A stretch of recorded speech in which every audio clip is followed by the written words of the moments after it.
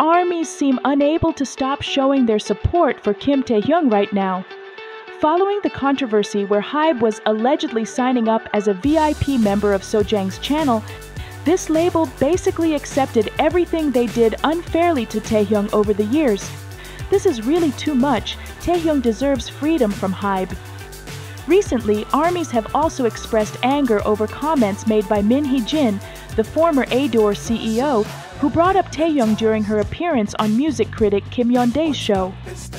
She mentioned that V, Taehyung, sometimes calls her from his military service and that he even wished her a happy birthday. Although Min Hee Jin praised Taehyung on the podcast, fans are concerned that people are using Taehyung's name for personal gain, especially considering Min Hee Jin's current conflicts within Hybe labels.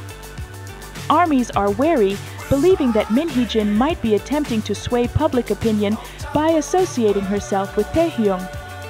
Additionally, if Taehyung did indeed wish her a happy birthday, it would have likely been in December of last year, well before any of her controversies surfaced.